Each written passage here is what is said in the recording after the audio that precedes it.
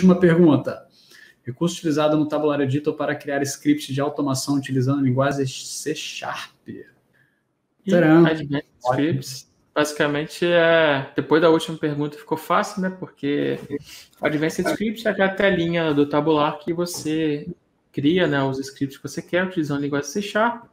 E quando você. O Custom Actions é o Advanced Scripts que você criou e você salvou ele ali, armazenou ele dentro do seu disco para ficar mais fácil, né? Para ficar como se fosse um atalho.